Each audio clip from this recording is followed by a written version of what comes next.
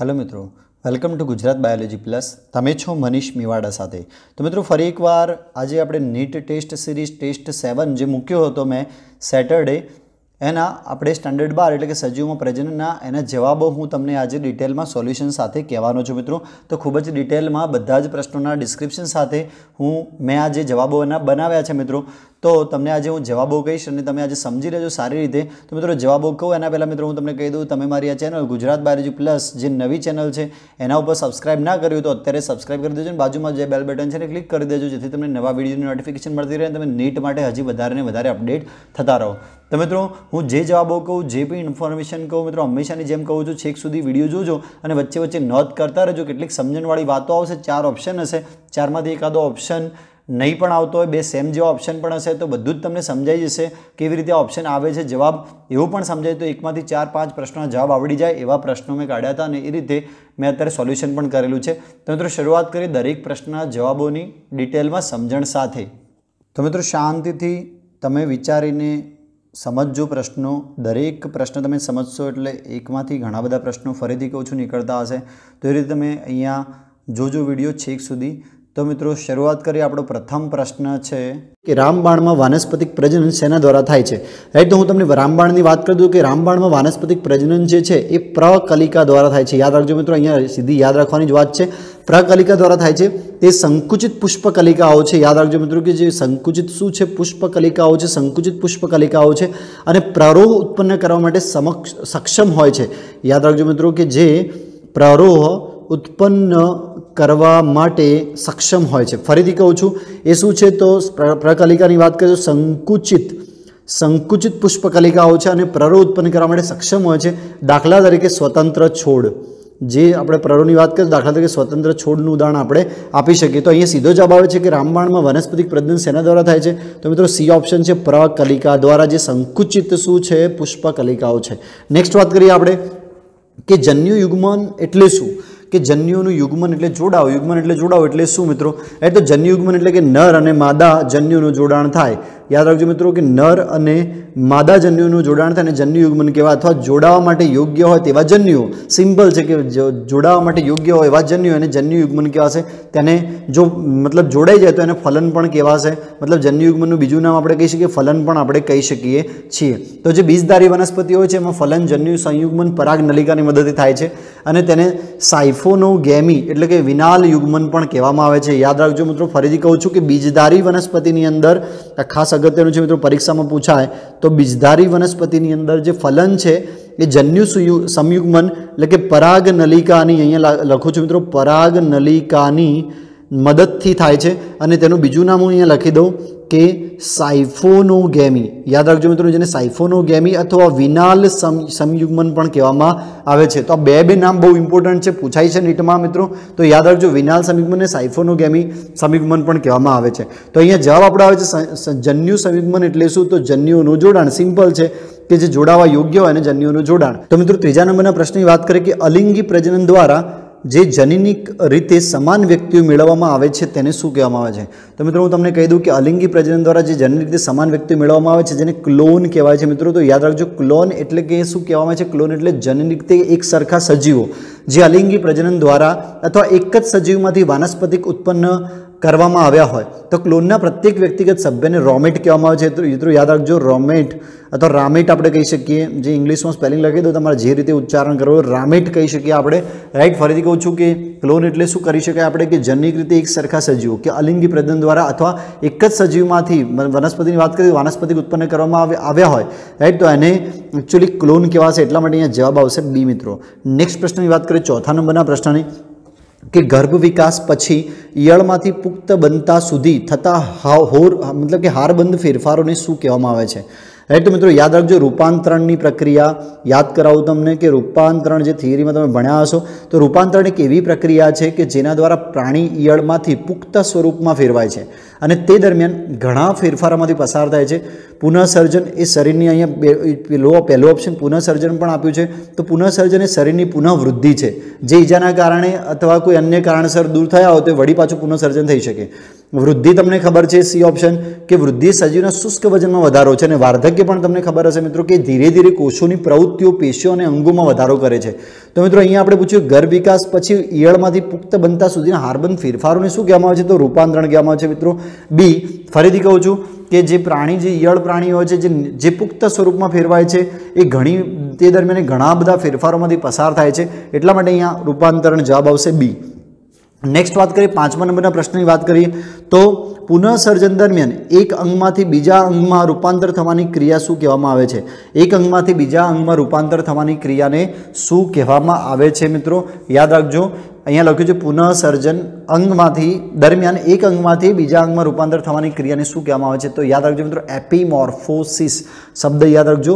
અહીંયા લખું છું, એપી મોર્ફોસિસ, આ શબ્દ યાદ રાખજો, કે એ શરીરના ગુમાવેલા અંગનું સ્થાને નવું અંગ બદલવાની ક્રિયા છે. કઈ ફરીથી કહું છું કે એપીમોર્ફોસિસ જે શું કરે છે, શરીરના ગુમાવેલા અંગને સ્થાને એક નવું અંગ બદલવાની ક્રિયા છે. તે માટે ઈજા પામેલા જે ભાગ હોય છે અથવા જે ધાની સપાટી ઉપર નવા કોષ ઉત્પન્ન કરવામાં આવે છે. રાઈટ બીજી એક વાત કરીએ, આકારજનન અહીંયા ઓપ્શન આપેલું છે આપણે. રાઈટ મેં તમને એક શબ્દ સમજાવ્યો, ફરીથી કીધું એપીમોર્ફોસિસ જે શરીરના ગુમાવેલા અંગને સ્થાને નવું અંગ બદલવાની ક્રિયા છે અને એના માટે ઈજા પામેલા ભાગમાંથી અથવા ધાની સપાટી ઉપર નવા કોષો ઉત્પન્ન કરવામાં આવે છે. બીજો શબ્દ લખ્યો છે અહીંયા આકારજનન. તો આકારજનન એક એને કહેવાશે ફોર્મોજેનેસિસ, મતલબ ફોર્મ એટલે કે ગ્રીક શબ્દ છે એકચ્યુઅલી જેનો આકાર અને જનન. રાઈટ ઉદ્ભવ કહીએ છીએ. તો જનનની પૂર્વ નક્કી થયેલી પદ્ધતિ પ્રમાણે શરીરમાં વૃદ્ધિ. અને આકાર અંગ અને અંગોની ગોઠવણી. દિશા અને આકાર જનનનો દર જાનનિક નિયમન અને પર્યાવરણીય પરિબળો ઉપર આધાર રાખે છે. મિત્રો, યાદ રાખજો કે ફરીથી કહું છું કે જે દિશા અને આકાર જે હોય છે, જનનનો દર જનનિક નિયમન અને પર્યાવરણીય પરિબળો ઉપર આધાર રાખે છે. તો અહીંયા આપણે ચારે ચાર ઓપ્શન જ્યારે વિચારીએ છીએ કે પુનઃસર્જન દરમિયાન એક અંગમાંથી બીજા અંગમાં રૂપાંતર થવાની જે ક્રિયા છે એને શું કહેવામાં આવે છે તો મિત્રો, એપીમોર્ફોસિસ કહી શકીએ, અહીંયા લખ્યું છે, ઈજા પામેલા અંગનું પુનઃસર્જન. એપીમોર્ફોસિસ મતલબ શું થાય છે કે ઈજા પામેલું જે અંગ છે, એની સ્થાને નવું અંગ ઉત્પન્ન થાય, પુનઃસર્જન થાય. તો અહીંયા આપણો ઓપ્શન બી સાચો પડે છે મિત્રો આ પ્રમાણે. રાઈટ નેક્સ્ટ પ્રશ્નની વાત કરીએ, છઠ્ઠા નંબરના પ્રશ્નની.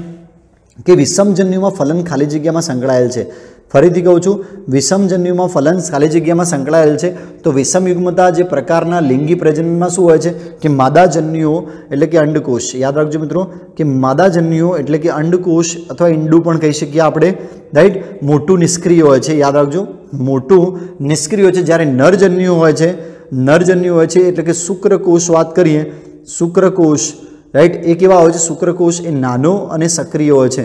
એટલે કે ચલિત હોય છે મિત્રો, નાનો અને ચલિત હોય છે. તો આ એક કોન્સેપ્ટ બધા જ પ્રશ્નો માટે યાદ રાખવા જેવો છે મિત્રો. ફરીથી કહું છું અંડકોષ એ ઈંડું મોટું હોય છે અને એકચ્યુઅલી કેવું હોય છે? અંડકોષ એ નિષ્ક્રિય હોય છે, મોટું હોય છે અને જે નરજન્યુ હોય છે, એ ચલિત હોય છે, સક્રિય હોય છે. રાઈટ? તો વિષમજન્યુમાં ફલનની વાત કરીએ તો એના સાથે બી ઓપ્શન જોઈ જોઈ શકો તમે. મોટા અચલિત માદાજન્યુ અને નાના ચલિત નરજન્યુ અને સક્રિય જન્યુ આપણે કહી શકીએ. એટલા માટે અહીંયા ઓપ્શન બી એકદમ સાચો પડે છે.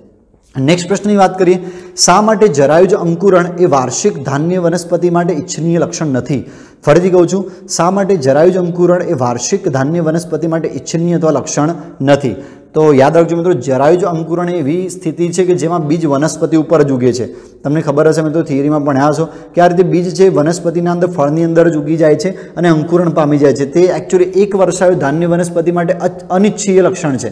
કારણ કે અંકુરિત બીજને સામાન્ય પરિસ્થિતિની અંદર બીજી ઋતુ માટે લાંબો સમય સંગ્રહી શકાતો નથી. ફરીથી કહું છું કે આ જે બીજ છે, અંકુરિત બીજને સામાન્ય પરિસ્થિતિની અંદર બીજ ઋતુ માટે લાંબો સમય, મતલબ સંગ્રહી શકાતો નથી.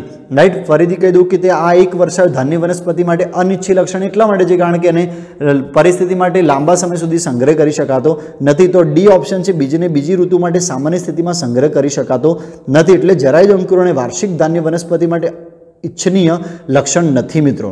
રાઈટ તો નેક્સ્ટ પ્રશ્નની વાત કરીએ આઠમા નંબરના પ્રશ્નની કે નીચેનામાંથી કઈ જોડમાં બંને વનસ્પતિમાં પણના ટુકડા દ્વારા વાનસ્પતિક પ્રજનન કરાવી શકાય છે? રાઈટ ફરીથી કહું છું, નીચેનામાંથી કઈ જોડમાં વનસ્પતિના પર્ણના જે ટુકડા દ્વારા વનસ્પતિક પ્રજનન કરાવી શકાય છે. રાઈટ તો હું તમને સીધો અહીંયા તો યાદ રાખવા જેવી બાબત છે. પરીક્ષામાં પ્રશ્ન આમાંથી પૂછાઈ શકે છે. ઘણી બધી વાર પૂછાયેલા છે. એટલે એટલા માટે મિત્રો આ પ્રશ્ન લીધો છે મેં. રાઈટ તો યાદ રાખજો કેલેન્ચો અને પાણ પર્ણફૂટી રાઈટ બીજો પ્રશ્ન છે કે પર્ણફૂટી અને કેલેન્ચો. એના અંદર પર્ણની કિનારીઓ ખાંચો હોય છે. આ રીતે પર્ણની કિનારીઓ ખાંચા હોય છે અને તેના પર્ણોમાં વાનસ્પતિક પ્રજનન માટે કલિકા ઉત્પન્ન થાય છે. આ રીતે વાનસ્પતિક પ્રજનન માટે અહીંયા કલિકા ઉત્પન્ન થાય છે. ફરીથી કહું છું કે આ પર્ણફૂટી અને કેલેન્ચોની અંદર પર્ણની કિનારીઓ પર ખાંચા હોય છે અને ખાંચામાં જે કલિકા ઉત્પન્ન થાય છે, પ્રજનન માટે કલિકા ઉત્પન્ન થાય છે. એટલા માટે અહીંયા જવાબ આવશે પણ ફૂટે અને કેલેન્ચો બીજા કોઈ આન્સર આવશે નહીં. રામબાણ કેલેન્ચો તો આવશે, પણ રામબાણ નહીં આવે સતાવરી આવશે. પાનપુરી નહીં આવે. જે ગુલદાઉદી રામબાણ પણ નહીં આવે મિત્રો, યાદ રાખજો. એટલા માટે અહીંયા આન્સર આવશે બી નેક્સ્ટ પ્રશ્નની વાત કરીએ, નવમા નંબરના પ્રશ્નની વાત કરીએ, કે ફુદીનામાં વાનસ્પતિક પ્રજનન ખાલી જગ્યા દ્વારા થાય છે. તો આ પણ એક જાણીતું ઉદાહરણ છે ફુદીનો. એટલા માટે મેં અહીંયા લીધું છે કે પરીક્ષામાં કદાચ પૂછાઈ શકે મિત્રો. રાઈટ, તો ફુદીના અંદર જે વાનસ્પતિક પ્રજનન છે, એ અધોભૂસ્તારી થાય છે. યાદ રાખજો મિત્રો. અધો ભૂસ્તારી દ્વારા થાય છે. ઇંગ્લિશમાં જેને સ્વકર શકર કહેવામાં આવે છે. યાદ યાદ રાખજો મિત્રો, શકર કહેવામાં આવે છે, જે ભૂમિગત પ્રકારની ગાંઠ ઉપરથી ઉદ્ભવે છે અને પ્રરો સ્વરૂપે ત્રાસી બનીને જમીનમાં, જમીનની બહાર આવે છે. ફરીથી કહું છું કે જે ભૂમિગત પ્રકાંડ હોય છે, આ રીતે ભૂમિગત પ્રકાંડ હોય છે, એ પ્રકાંડની ગાંઠ ઉપરથી ઉદ્ભવે છે. આ રીતે અને ત્રાસી બનીને પ્રરો સ્વરૂપે ત્રાસી બની અને જમીનની બહાર આવે છે. તે બીજી એક ઉદાહરણ તમને કહી દઉં કે જે ગુલદા ગુલદા ઉદીમાં પણ થાય છે, એક વનસ્પતિનું નામ છે મિત્રો, તો ગુલદાઉદીમાં પણ આ થાય છે. ફરીથી કહું છું કે ફુદીનાના અંદર જે વાનસ્પતિક પ્રજનન જે છે, એ કેવી રીતે થાય છે મિત્રો? ફરીથી હું તમને કહી દઉં, જવાબ સી ભૂસ્તારી પ્રમાણે રાઈટ તો ભૂસ્તારીના અંદર સોરી અધોભૂસ્તારી પ્રમાણે સોરી અહીંયા ભૂલ થાય છે અહીંયા. ડી, અધોભૂસ્તારી પ્રમાણે થાય છે. રાઈટ કે જેના અંદર મેં તમને હમણાં કીધું કે અધોભૂસ્તારી દ્વારા એટલે કે શકર દ્વારા થાય છે, જે ભૂમિગત પ્રકારની ગાંઠ ઉપરથી ઉદ્ભવે છે અને પ્રરો સ્વરૂપે ત્રાંસી બનીને જમીનમાંથી બહાર આવે છે. રાઈટ તો એકચ્યુઅલી જે ગુલદાઉદીમાં પણ આવું જોવા મળે છે. નેક્સ્ટ વાત કરીએ, આપણે દસમા નંબરના પ્રશ્નની વાત કરીએ કે જે જળ શૃંખલામાં વાનસ્પતિક પ્રજનન ખાલી જગ્યામાં થાય છે. આ પણ એક જાણીતું ઉદાહરણ છે, એટલા માટે મેં જળ શૃંખલા લીધું છે મિત્રો. તો જળ શૃંખલામાં વાનસ્પતિક પ્રજનન જે છે, એ ભૂસ્તારિકા દ્વારા થાય છે. યાદ રાખજો મિત્રો, ભૂસ્તારિકા. રાઈટ? તો ફરીથી કહું છું કે જળ શૃંખલાના અંદર જે પ્રજનન થાય છે, વાનસ્પતિક પ્રજનન એ ભૂસ્તારિકા દ્વારા થાય છે, ભૂસ્તારિકા એ મુખ્ય પ્રકાંડમાંથી ઉદ્ભવે છે અને દરેક શાખાઓનો ઉપરનો ભાગ વાંકો અને પર્ણોનું ઝૂંખમું ઝુમખું ધરાવે છે. જ્યારે નીચેનો ભાગ જે મૂળ ધરાવે છે અને પ્રત્યેક શાખા જ્યારે છૂટી પડે છે, ત્યારે સ્વતંત્ર નવો છોડ ઉત્પન્ન કરે છે.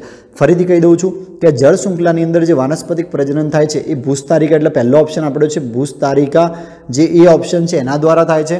દેટ તો ભૂસ્તારિકા એ મુખ્ય પ્રકાંડમાંથી ઉદ્ભવે છે અને દરેક શાખાનો ઉપરનો ભાગ વાંકો અને પર્ણોનું ઝુમખું ધરાવે છે. જ્યારે નીચેનો ભાગ છે, મૂળ ધરાવે છે અને પ્રત્યેક શાખા જ્યારે છૂટી પડે છે, ત્યારે સ્વતંત્ર નવા છોડ તરીકે ઉત્પન્ન થાય છે. રાઈટ, તો અહીંયા જવાબ આવશે એ ભૂસ્તારિકા. નેક્સ્ટ પ્રશ્નની વાત કરીએ આપણે અગિયારમા નંબરની કે બટાકાની આંખો ખાલી જગ્યા છે. રાઈટ, તો યાદ રાખજો મિત્રો કે ગ્રંથિલ એ અંડાકાર કે ગોળાકાર ફૂલેલો ભૂમિગત, એક ભૂમિગત રૂપાંતરિત પ્રકાંડ છે. યાદ રાખજો મિત્રો.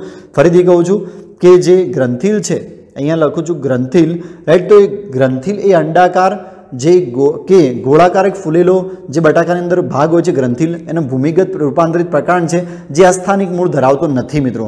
તો તે ઘણી સંખ્યામાં કુંતલ આકારે ગોઠવાયેલા ખાડા જેવી, ખાડા જેવા જે રચના ધરાવે છે, જેને આંખો પણ આપણે કહીએ છીએ. તો પ્રત્યેક આંખ એ ગાંઠ સૂચવે છે અને સલકીપણની કક્ષમાં એકથી ત્રણ કક્ષકલિકાઓ ધરાવે છે. ફરીથી કહું છું, કેટલી કક્ષકલિકાઓ ધરાવે છે?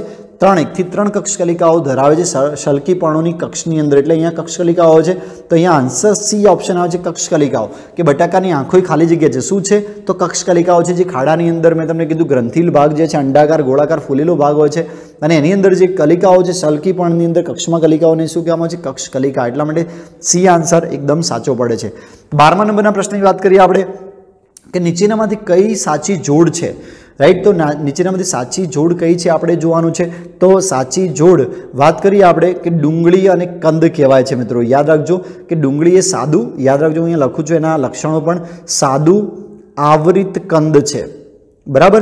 અને બીજા નંબરનું આદુની વાત કરીએ તો આદિ, આદુ એ સોરી આદુ એ વિપથ, વિપથગામી. યાદ રાખજો, વિપથગામી ગાંઠા મૂળી છે.